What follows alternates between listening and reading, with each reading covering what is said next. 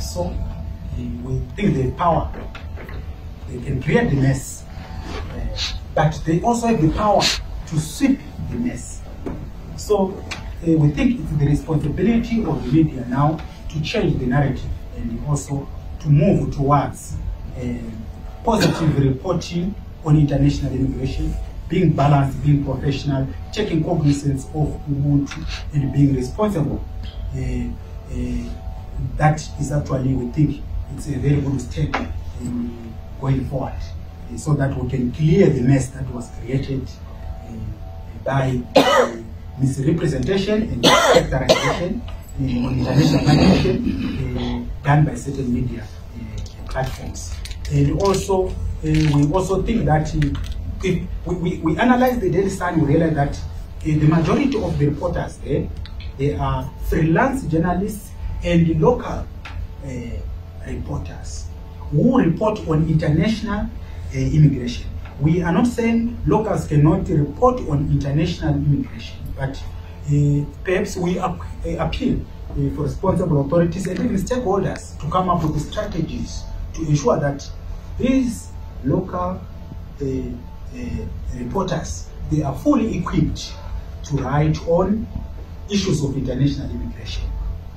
That we think is very critical and it's very important because previously in other uh, parts of the world we saw how uh, ill-equipped reporters could create a lot of damage uh, on an otherwise very important topic. We saw that in, in Rwanda uh, where international reporters and even local reporters who were not well equipped on covering uh, ethical dynamics and also understanding the history uh, of Rwanda. Uh, they could make mistakes in erroneous reporting, uh, which was actually found to be very alarmist and uh, leading to conflict. Uh, uh, that saw the death of quite a number of Tutsi and uh, also the moderate Hutus. So we think that they have to be trained on that. And also, if possible, they can also include reporters who have a background in international perhaps those with the uh, foreign, uh, I mean, immigrant origin to actually report uh, in these areas. But they also have to be to be uh, fully equipped. Uh, uh, we also saw that um, the need for us as the researchers and revolutionaries, people want change, to really interrogate the curriculum and also the pedagogy. How are students of journalists at universities and college of journalism taught? Is the way they are taught humanizing or it's actually dehumanizing them? Or are they really empowered by the way they are really taught?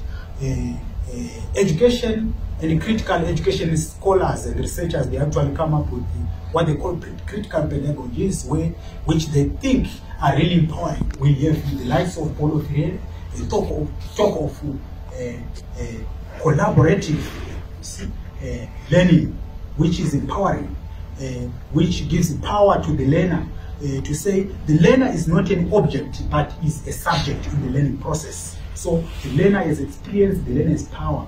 Therefore, uh, the learner must be empowered and they must be respected. Uh, which is different from directives, ways of teaching where the learner is given based on curriculums that are exported from other parts of the world, uh, which parts of the world have no history uh, like ours. For instance, if we use a curriculum from Britain, when we are in South Africa, a country that was robbed by colonialism and apartheid for years, over 100 years, and then we are importing a curriculum uh, that reports on the position of advantage from Britain and using it to report on uh, the critical issues in South Africa, which is a, a and divided society because of the legacy of colonialism and apartheid.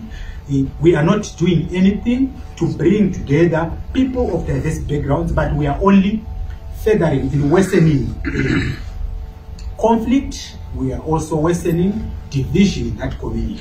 So we call upon uh, media practitioners, especially those in the education sector, to also look at the curriculum and also uh, the pedagogy to say is, is it really uh, empowering uh, empowering enough? So uh, th those are some of the recommendations. We also looked at uh, what is coming now in the media fraternity to say uh, there should be what you call in South Africa Ubuntu journalism, where we look at we look at the human rights issues, the aspect of humanity. Do we look at a person as a human being that we report about? Do we know the impact of our reportage to, about that person to the larger public? Are we selling that person or killing him because we want to make money? Is our agenda profit making or to save life? Those are the issues that uh, we think reporters and journalists should first interrogate before they start uh, writing.